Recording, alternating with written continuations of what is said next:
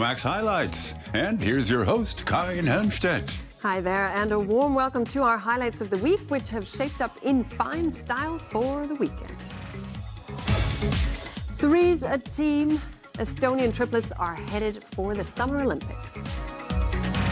Life's a dream. Germany's Euro 2016 football squad is staying in style. And worth a visit, Lake Garda is a top tourist location in northern Italy.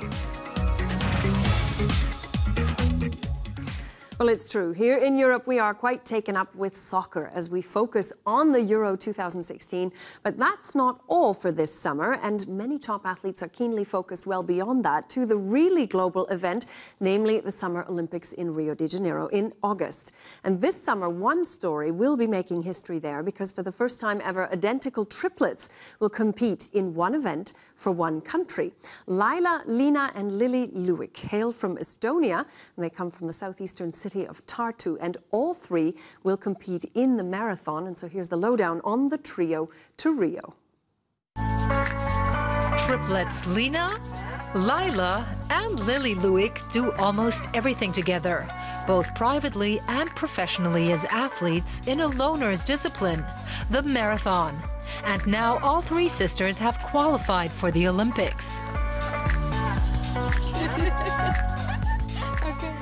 It was our dream and uh, it is surprise uh, it's good surprise we are three three of us and maybe each other supports and uh, we give uh, so much energy for each other maybe it pushed also a little bit Tartu is a university town in southeastern Estonia with a population of just under 100,000. This is where the trio live and train. The Luiks have become figureheads for their sports club. At age 30, they're late bloomers, first starting out as professional marathon runners in 2010. Now they try to run 150 kilometers a week. We started uh, professional sports so late, uh, only 24 years old when Yeah. we were. And Yeah. uh, it's, uh, Never too late. yeah, it's uh, like uh, our motto that uh, it's never too late to, to start uh, professional and something uh, what you dreamed of. Their dream has long since become reality. They were soon scoring victories at the national level as long distance runners. Here at a training camp in Kenya, they're working even harder. Under the slogan Trio to Rio, they're now setting their sights on the Summer Games in Brazil. Liina became the first to qualify at the 2015 IAAF World Championships in Beijing. Lily followed in Valencia. And then Leila in the Hamburg Marathon. from small country like Estonia, three three girls, sisters, are going to Olympic Games, and they are doing the same event. It's of course it's a very exciting and uh, and it is interesting, and uh, every everybody would like to know about these girls. As identical triplets, Leila, Liina, and Lily are used to attention. As children, they were always being photographed, even more so later when working as lifeguards or dancing, their other great passion. With their success as runners came sponsors' recognition of the trio's advertising potential. The Luiks are also very active posting and blogging in social networks. As the first triplets in one Olympic discipline, the international press certainly has them on its radar. We live like normal people and we uh, we think like it's it's normal. We do uh, the same thing ev- as like life. everybody. Yeah, like we love running and we do running and but uh, Why this- so much attention? Mhm, Yeah, but uh, sometimes it's a little bit uh, annoying and. Uh, but we have to deal with it. But the, the other way, it's good uh, when you have so much uh, uh, Popular, popular fans and yeah. fans who are follow us. The sisters live separately but spend much of their time together. Leila, seen here in the middle, lives with her boyfriend in a traditional Estonian wooden house. Painting is one of many hobbies. Once their athletic careers are over, they want to keep working together, maybe as gallery owners or professional coaches. None of them could imagine ever going it alone. We know each other so much, and it's easy to start something new or a company or something because uh, Uh, we yeah we we are like so much so good looking and uh, also We're like best friends. yeah None of the three have a real chance at an Olympic medal. Leila is the fastest with a best time of 2 hours, 37 minutes, and 11 seconds. But that's on the slow side. The fact they'll be competing against one another in Rio de Janeiro doesn't bother them. We don't feel sad if uh, somebody uh, would wi- win a medal or something that uh, we just feel proud uh, with Each uh, other. each other and other sister and it's like if one uh, wins something uh, it's like uh, all- we all all- three win something The crunch time at the training camp in Italy begins in mid June. Brazil is only the first step for the trio. They're already gearing up for the next Summer Olympics in Tokyo in 2020. And they're certainly off to a good start. Well, back to soccer. And earlier this week, the German team moved into its base camp in Evian-les-Bains, that's on Lake Geneva, a place where Jogi Löw and his team can relax between the games at the Euro 2016. Well, the four-star Hermitage Hotel is their home away from home, and we got a quick tour beforehand. A gigantic football cleat in the German and French national colours welcomes visitors to Evian-les-Bains, a picturesque spa town on Lake Geneva. This is where the members of the German national team will be based during Euro 2016. Coach Joachim Löw and his team will be staying at the hotel L'Hermitage. Built in 1909, it overlooks the lake. During the championship, the entire hotel is reserved for the squad. Hotel manager Yannick Le Eck is looking forward to hosting the Germans. C'est un vrai signe de reconnaissance. It's a compliment. Euh, Something like this doesn't happen c'est every pas- ça day. n'arrive pas tous les jours, To be honest, we're euh, really proud. The four star hotel has many advantages. This area is very, very Euh, safe with the lake on one side la montagne de l'autre. and the mountains on the other. And the hotel is surrounded by nature, which is Euh, great. vous regardez l'environnement de l'hôtel, You euh, get the euh, feeling you're in the sentiment d'être dans woods, you can hear the euh, birds, and we have a 15 hectare park. à côté de nous, avec un beau parc hein, d'une quinzaine d'hectares. Our hotel also has a very friendly, l'hôtel en soi, family euh, oriented atmosphere, totalement à l'atmosphère que which is what they were looking for. Un, environnement, j'allais dire famille, parce que c'est un hôtel très famille. The players' hotel suites look out onto either the lake or the forest.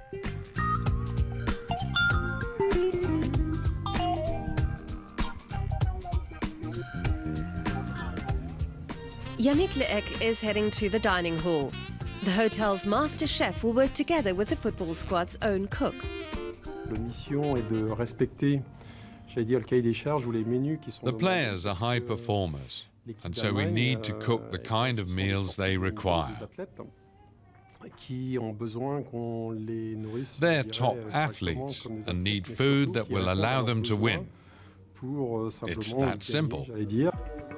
The hotel has plenty of facilities to help players chill out between matches a billiard table, a bar, and even an indoor pool.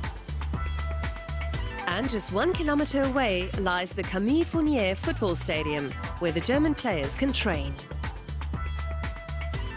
The town of Evian-les-Bains has exciting events in store for Euro 2016. We've organized football themed entertainment for kids and the general public on weekends during the European Championships. Up at the Camille Fournier Stadium, you'll be able to watch the squad train every day. And we've established a press center nearby with space for 300 journalists. Windows are decked out with football decorations. And a local pizzeria even has a German language menu for the fans. On va faire un bar avec de la bière allemande. Our bar will offer German beer. Voilà, quoi. Enfin, on essaye d'être au And we'll try to show all the matchs de la European Championship pendant la matches and hope that it attracts customers. Euro 2016 is an opportunity for German and French people to get to know one another better. I'm pleased that the German team is here. It's good for the town. It will bring some enthusiasm to this reserved place. I'm not interested in all this. Football is mostly about business and making money. The town of Evian can be pleased to have such important guests. It'll liven up this town and change Evian a little. It's exciting to host an international team. Euro 2016 is a big deal for Evian-les-Bains, and the residents are well prepared for it.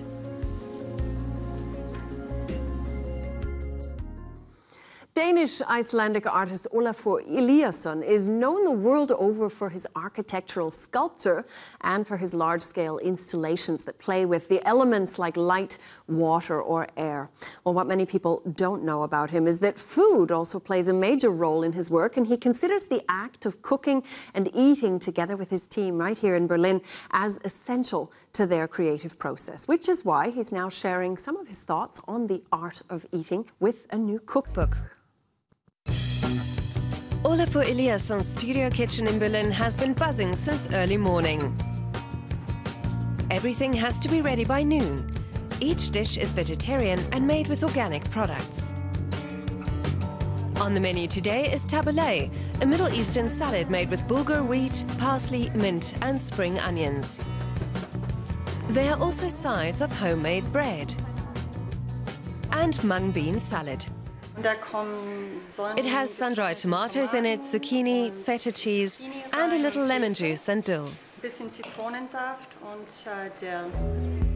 No one skips lunch here. The whole team gathers for a communal meal. Every day, lunch offers the chance to socialize and exchange ideas. And that is exactly what the Danish Icelandic artist Olafur Eliasson likes to see. His new cookbook was a real group effort.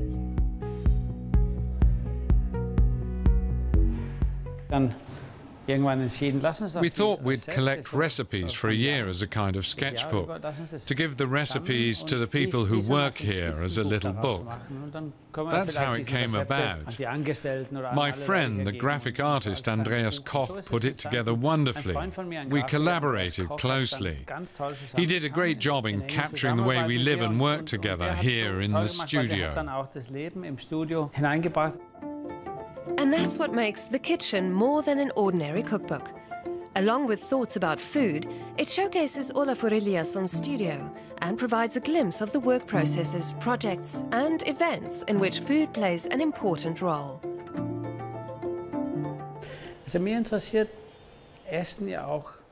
I'm interested in eating also from a scientific side.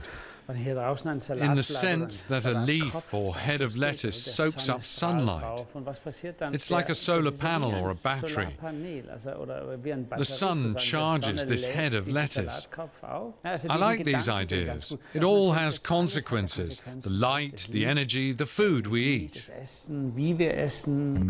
In 2008, Eliasson set up his studio in a former brewery and chocolate factory in Berlin. Around 100 people work for him here, among them architects, artists, designers and craftspeople. They implement his ideas. Eliasson is interested in natural phenomena like water and light.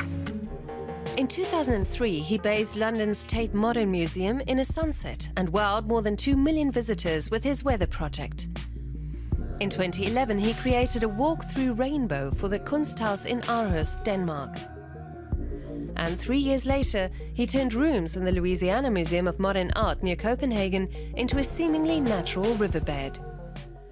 With the solar-powered lamp Little Sun, he hopes to bring light to corners of the world that have no access to electricity. It's about understanding energy and securing access to energy. It's a major issue for me, but I have other works about the perception of color or about psychology, gestalt psychology, like how does a specific color influence the state of my senses? That interests me too. The communal aspect of dining is central to Eliasson, who says food is a social glue. The studio has hosted celebrities from artist Ai Weiwei to actress Meryl Streep. And Danish star chef Rene Redzepi lent a hand in the kitchen. Lunch is free for Olafur Eliasson's staff. They help clear the tables in turns. Employees can take home any leftovers. My interest is in living well. With what ethical system do I go through everyday life? Cooking and eating is a big part of that because, of course, everyone has to do it. Olafur Eliasson garners inspiration from cooking. His book conveys that and invites readers to think again about work and food. Well, we'll be right back to food in just a second because now it's down to northern Italy for a virtual tour of Lake Garda. That's the country's biggest lake, and its north shore is particularly special because it combines the lake with stunning mountains. And we'll be starting off in Limone sul Garda, where the food seems to have all of the ingredients for particularly long life. Lake Garda in northern Italy covers some 370 square kilometers. Surrounded by alpine foothills, the northern shore boasts an enticing mix of rugged beauty and picturesque villages. One of the best known is Limone sul Garda. Until the late 1920s, this was a fishing village and could only be reached by boat. Franco Usardi has lived in Limone for over 70 years. He witnessed the first tourist boom firsthand. Quando Mussolini qui nel 1932 ha costruito Tourism began here in 1932 when Mussolini ordered the construction of the Gardesana Lakeside Road. In the 1950s, entire lemon groves were replaced by hotels.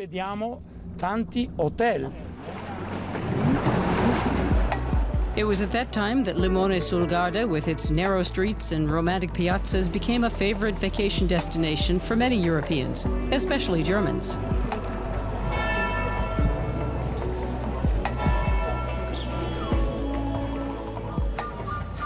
A small museum reminds visitors of those days. The progressive Northern European women tourists were something of a revelation to local young people. Erano molto più avanzati. They were much more progressive and open than we were. Noi, ragazzi giovani, facevamo la coda. We boys would line up to go out with them, dance with them, and get to know them. portarle alla sera a ballare, no? Abbiamo un po' And in doing so, we contributed to the development of tourism here. Turismo, perché dopo le nostre turiste che When those women vacationers went home, they raved about us young Italian men. They called us Latin lovers. E allora ci chiamavano noi giovani i Latin lover, né? Limone sul Garda is said to be the northernmost point on Earth where lemons grow. Tourists can still see a few of the remaining lemon groves. Aside from lemons, freshly caught fish is also a specialty of Limone sul Garda. Maybe the healthy diets lead to a long life? In 1979, a protein beneficial to longevity was discovered in the blood of a local resident. Nel suo sangue aveva un They found a genetic mutation that removes fat from the blood vessels, allowing the blood to circulate freely in the veins and arteries. That helps prevent Alzheimer's and heart attacks. Now there are some 30 to 40 people in Limona with this genetic mutation, likely the only ones on Earth. in tutto Limone penso in tutto il mondo. These days, it's not just Latin lovers who draw visitors to Lake Garda's northern shore. The mountains create special winds that make this a surfer's and sailor's paradise. On the other side of the lake, a cable car takes visitors up Monte Baldo. Each year, around half a million people visit this 30 kilometer long mountain ridge. On a good day, you can see Venice from here. Or take advantage of the winds to go paragliding. The cable car goes from Lake Garda, one of the loveliest lakes in Europe, to the top of Monte Baldo, an altitude of around 1,800 meters, from 0 to 1,800 meters, to what's called the Garden of Europe. At the foot of Monte Baldo lies the village of Malcesine.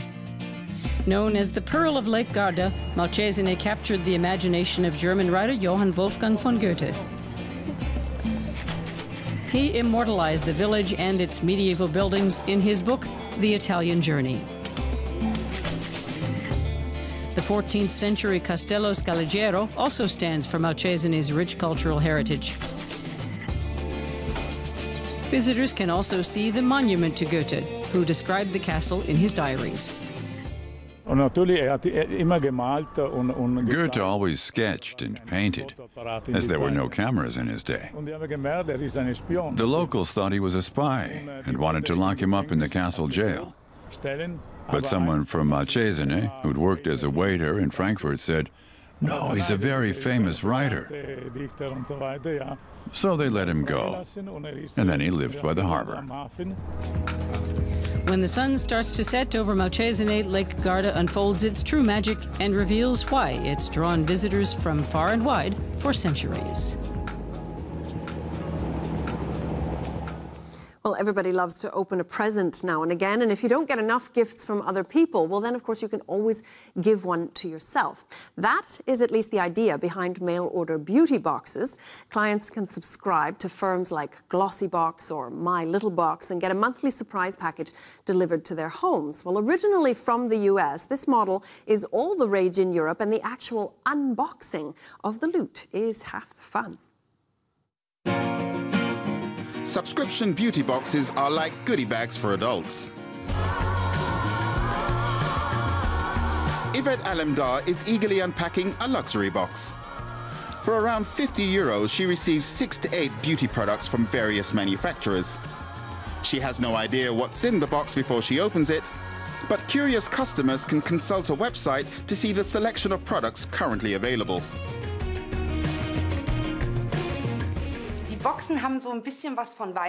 It's like Christmas in the middle of the year. Depending on your subscription, you receive surprise parcels several times a year. That's what's cool about it the anticipation, the excitement, and it's so nicely wrapped. It's the perfect occasional gift to yourself. Introduced in the US back in 2010, Birchbox was the original beauty subscription package. Now, many companies offer such subscriptions, including some in Germany. Customers generally receive a surprise package once a month. They can note their hair or skin type in their personal profile, so the products will be tailored to their needs. Boxes are available for men as well as women. The companies cannot offer inferior products or samples of standard products, things that aren't exclusive or very popular. You can only make that mistake once. Customers won't forgive you.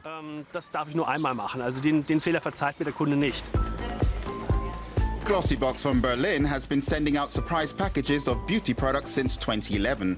It now boasts more than 250,000 subscribers in 10 countries. Each of Glossybox's boxes has a theme, suited to the season or special occasions like Valentine's Day. The firm pays particular attention to the box's design. The wrapping and unwrapping are all important. There are four steps to opening the box. You lift the lid, untie the bow, open or pull out the magazine, and you can see right away what the theme is. The excitement builds. Then you remove the little sticker and lift the paper. Everything's geared toward this momentary experience. Video bloggers are an important factor in the success of beauty boxes as a business model. Such unboxing videos are popular and some bloggers operate YouTube channels with as many as half a million subscribers. Companies send these women boxes for free, even if their assessments aren't always positive. This month, I'm unfortunately not so happy. It's buttery soft, like it's melting. This would have cost 10 euros. Crazy. Bloggers play a really important role in the marketing of these products. Many young women, in particular, learn about cosmetics almost exclusively through YouTube blogs. They watch the videos and subscribe to the channels where they watch every episode. So it makes perfect sense for these companies to send bloggers their products to unpack and show off.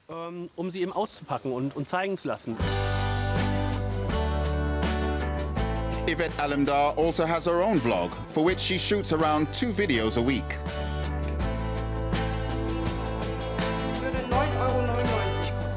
Yvette wants to make her viewers feel good, to give them a place where they can forget their everyday troubles. It's communication and technology, which I'm really interested in, bundled together with beauty. For me, it's all in one. And then I also get feedback from the people watching. It's just so intimate. Like with friends, only online. And you can always get some advice. Welcome back, everybody. Today we're looking at Glossybox again. To keep bloggers and customers happy, the subscription boxes need to offer something new each month. Because who doesn't like getting presents? And watching others unwrap theirs can be fun too. And that's all for this edition of our highlights. So hope you enjoyed it. And until next time, all the best from Berlin and tschüss.